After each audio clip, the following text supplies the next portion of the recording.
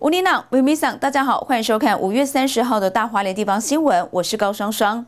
好，现在开始带您来关心气象的资讯了。中度台风马湾来袭，气象局二十九号晚间是发布了海上台风警报之后呢，花莲地区受到台风外围环流导致海象的变化莫测。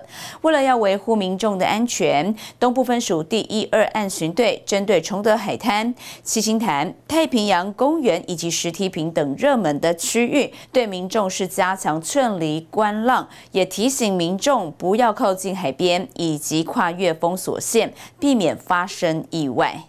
目前花莲地区的海边受到台风外围环流的影响，已经出现强阵风及长浪。为避免游客因游气、戏水或观浪不慎遭到浪吞噬等意外的发生。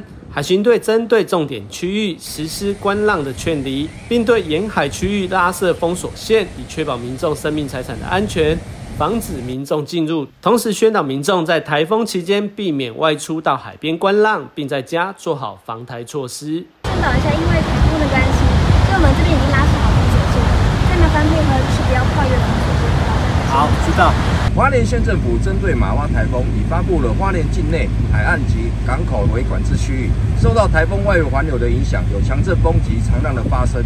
为了维护民众安全，在此呼吁民众切勿擅闯管制区域逗留及观浪。第一二岸巡队呼吁，台风来袭期间，请民众切勿前往岸际逗留或是观浪。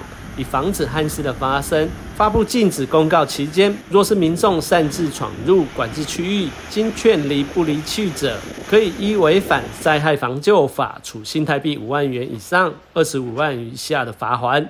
记者林杰，花莲市采访报道。